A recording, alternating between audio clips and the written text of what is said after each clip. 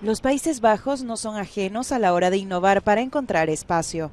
Con un historial de planificación urbana creativa, Ámsterdam ha inaugurado dos nuevos aparcamientos para bicicletas, pero no están construidos sobre o bajo tierra, sino bajo el agua.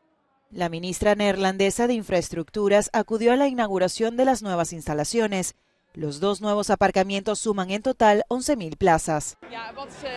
Lo que han hecho aquí de forma muy inteligente es construir aparcamientos para bicicletas bajo el agua. Afortunadamente en los Países Bajos tenemos muchos conocimientos y experiencia en lo que se refiere al agua y también hacemos posible construir en zonas donde hay mucha agua, lo que permite un uso óptimo del espacio del que se dispone en un país pequeño como los Países Bajos.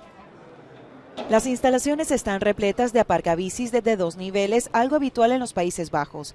Convenientemente, ambos aparcamientos están cerca de los puntos de transporte, donde se calcula que un 30% de los viajeros llegan a Ámsterdam con su bicicleta.